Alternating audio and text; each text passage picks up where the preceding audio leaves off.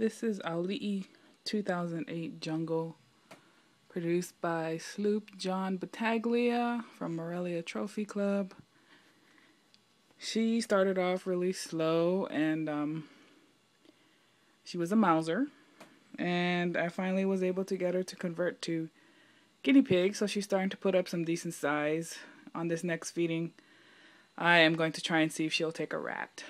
Uh, I have another female jungle who kind of went through the same pro- process from mouse to guinea pigs, and then she took her first rat like about 10 days ago. So I'm hoping that this female will do the same.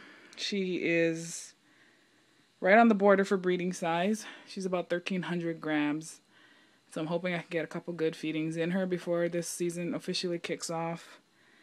And I'm either going to do some jungles with her or put Riddler to her and do some jungle jags. So we'll see. All depends on if I can get her up to size. But there she is.